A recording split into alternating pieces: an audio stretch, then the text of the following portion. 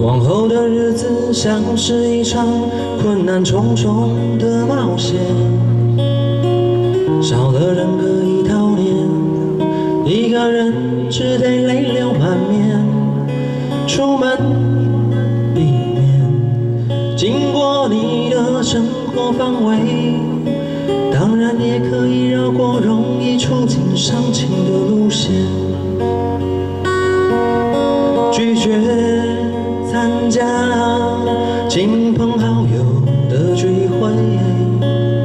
谁在餐桌上提起我们曾经的轰轰烈烈。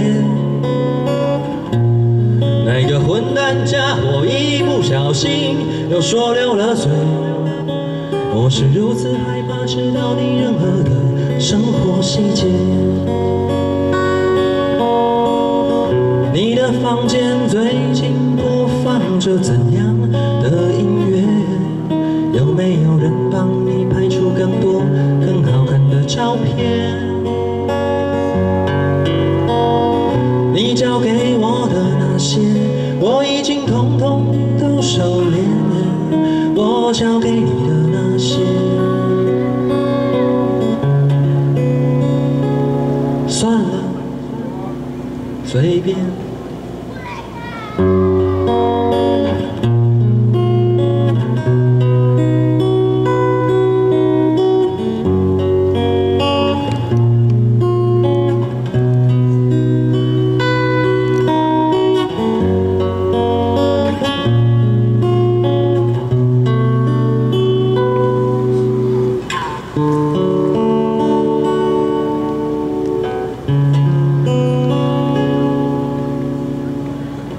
多看阴晴圆缺，一伤心就是全世界，抵抗力大不如前，说失眠算轻描淡写，打起精神，决定大步走向前。可是熟悉背影的转身都不是你的脸，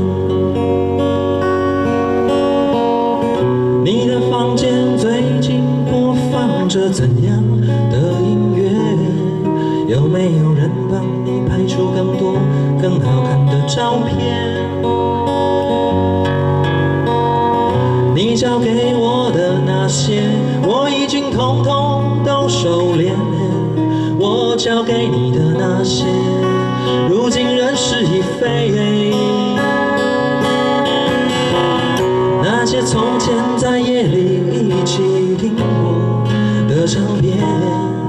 想必现在伤都堆满了厚厚的灰。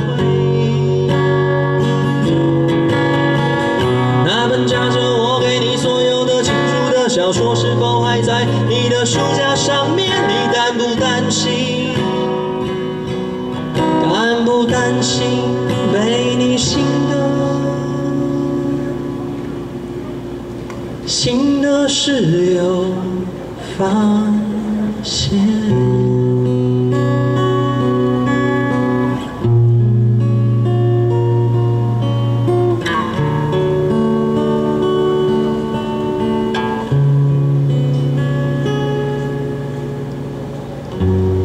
哎呀哎呀，终于你还是来到我面前。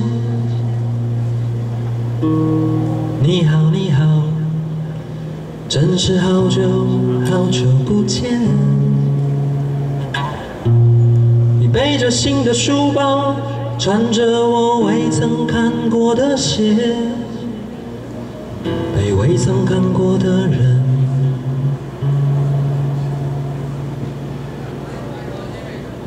大致千年。